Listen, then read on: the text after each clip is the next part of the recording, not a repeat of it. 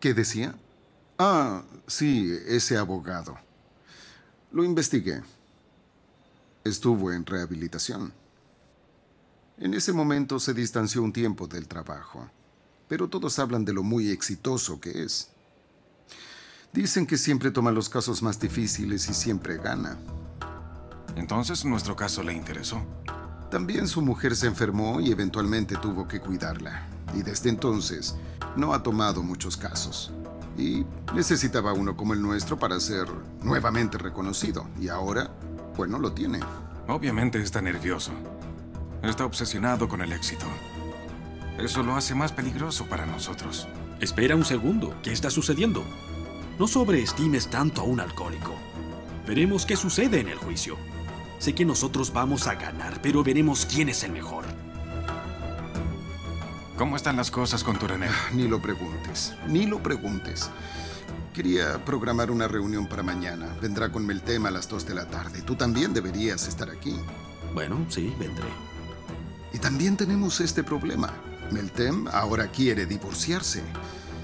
Tenemos que evitar que eso suceda. Con eso, Turaner se vengaría. Sé que pediría una compensación por el divorcio de su hija. Ya hemos perdido mucho dinero con todo lo que ha pasado. Y si seguimos así, todavía perderemos más. Mucho más dinero que no sé de dónde lo sacaré. Yo debo hacerme responsable de todos. Si yo no estuviera aquí, ¿quién más podría hacerlo? No me malentiendas.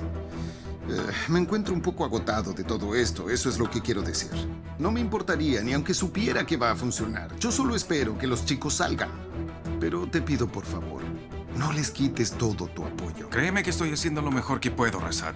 Si tú piensas que estar aquí sentado y hablando contigo no es apoyo suficiente, no sé qué decir entonces.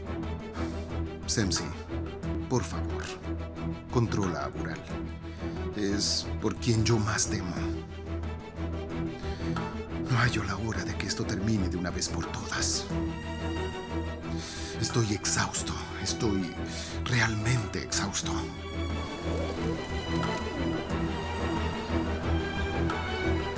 Oye, ¿no has sabido nada? ¿No has hablado con el encargado aún? Quiero ver a mi abogado. Ya estoy cansado y podrido de tu abogado. Termina. Cállate.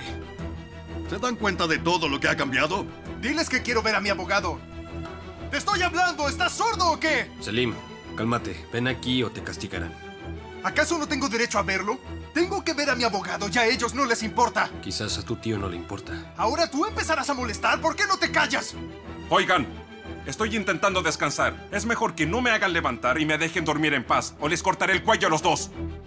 Siéntate. No dejes que nos ataquen de nuevo.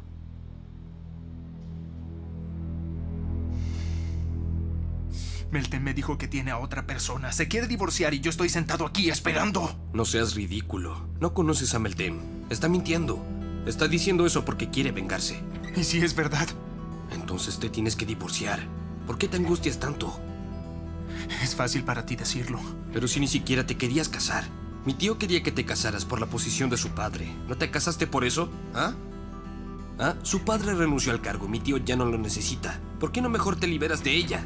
Ya estás hasta el cuello con todo esto. ¿Vas a lidiar con ella también? Pero es que yo la amo.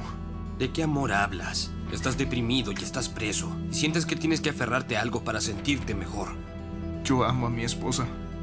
Yo la amo, Erdogan. Yo te amo a ti. Hey, ¿por qué no se callan de una vez? Lo sentimos. Uno, dos, tres. Silencio.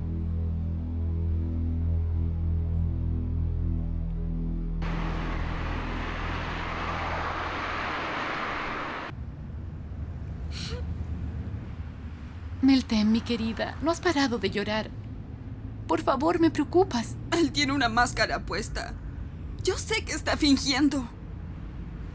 Me sentí sucia mientras me rogaba que le creyera. Me da tanto asco él y sus mentiras. Líbrate de él. Primero divórciate. Así no tendrás nunca más que volver a verle la cara de nuevo. No sabía que se podía odiar tanto a alguien. El odio te hace olvidarlo todo. Ahora ya no recuerdo nada de Selim. Ahora solo sé que lo odio.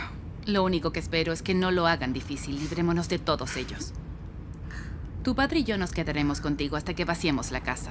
No te dejaremos sola, de eso quédate tranquila. Mi padre trabajaba con ellos. Espero que no castiguen a mi padre por mi culpa. Ah, claro que no, no te preocupes por eso. Tu padre hará que se lamenten por todo esto.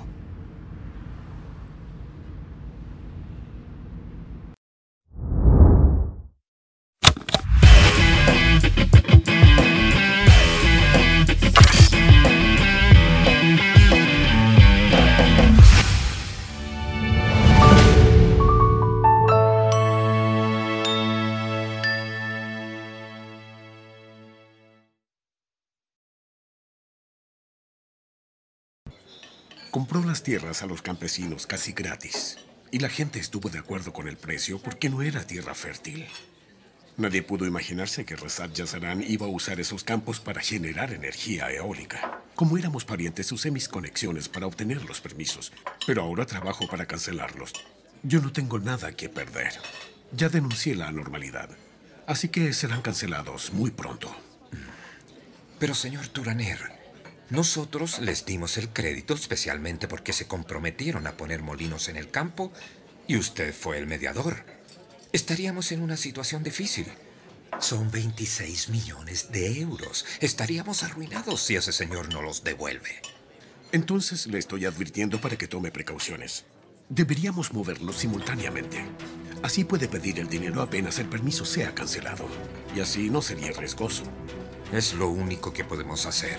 Si no, estaré arruinado. Entonces, esta operación tendrá que ser muy cuidadosa y silenciosa para que usted recupere el dinero. Porque cuando se enteren, no se quedarán quietos. Nos aprovecharemos del asunto de la privacidad. No se preocupe, nosotros lo sorprenderemos. Daré el primer paso inmediatamente. Quiero agregar algo más. Mi hija es accionista del holding Yazarán. No me gustaría que lo que se compró como un regalo de boda siga siendo un tipo de nexo para nosotros. No queremos nada más con ellos. Entiendo perfectamente.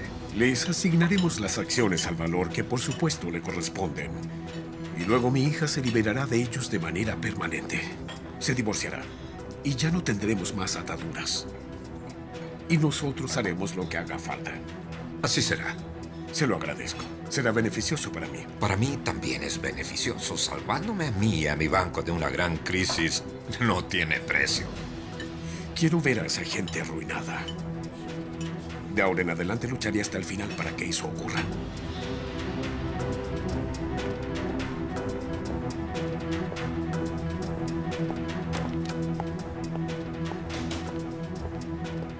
Resat.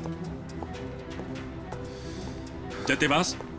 Perian no está bien. Gilmille llamó. Se encerró de nuevo en su habitación. Oh, y también quiere venir conmigo a Izmir. No puede ir a ningún lado hasta el día del juicio. Por supuesto, no te preocupes. ¿Cuándo vas allá? Se supone que la semana entrante, pero Selim insiste mucho en verme. Mm, sería bueno que lo fueras a ver. Ah, es Perian. Dime, mi amor. El abogado de Meltem mandó unos papeles. Ella inició los trámites del divorcio. ¿Qué estás diciendo? ¿Qué pasó? ¿Pero qué está pensando esa mujer? Ahora entiendo por qué se mantuvo callada. Resat. Está bien, bueno, veré lo que pasa. Hablaremos en la tarde. ¿Qué pasó? Meltem le pidió el divorcio a Selim y tú no lo sabías. ¿Por qué?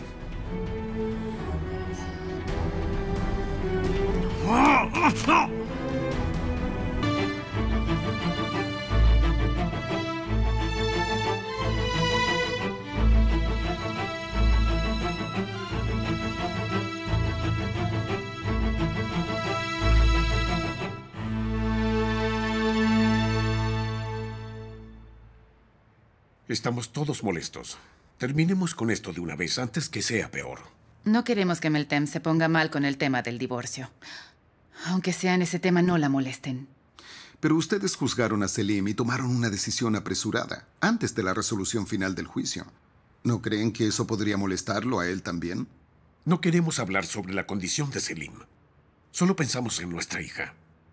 Queremos terminar este matrimonio y arreglar esto de una vez. Hubiera preferido que esperaran el juicio. Quizás Meltem cambie de opinión. Meltem ya tomó una decisión.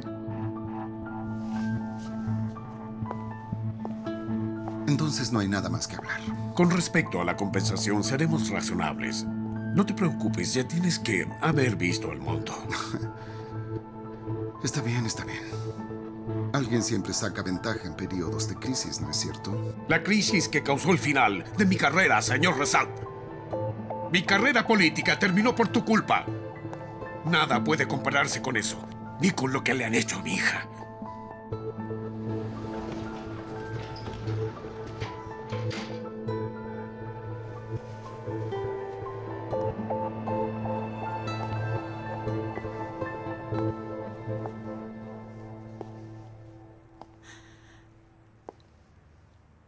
Meltem, querida. Creo que te decidiste muy rápido. ¿Qué pasa si luego del juicio te arrepientes? Solo me arrepiento de no haber tomado la decisión a tiempo. Por favor, Meltem. Dale otra oportunidad. Si lo dejas luego de esta asquerosa calumnia. No siga, por favor. Usted sabe que eso es verdad. Perian, por favor. Meltem está muy cansada. No quiero que llore. Te voy a extrañar demasiado. Usted fue lo único positivo de todo esto. La quiero y agradezco su cariño. Por favor, dale otra oportunidad. Nunca. Ya se terminó. No la estoy acusando, señora Perian. Como su madre no podría hacer otra cosa. Tiene que defender a su hijo a pesar de todo. Yo respeto mucho su fuerza. Por favor, por favor, no llore. Solamente a usted no le tengo rencor. Créame.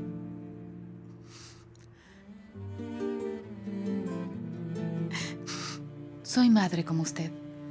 Nosotros podemos entendernos. Y esa chica también tuvo madre. Hemos sufrido tanto, incluso estando desde el otro lado. Y la familia de esa pobre chica. Entendimos que no podíamos ser parte de esto porque estaríamos siendo cómplices. Perian, no presione más a Meltem. Se lo ruego de todo corazón como madre.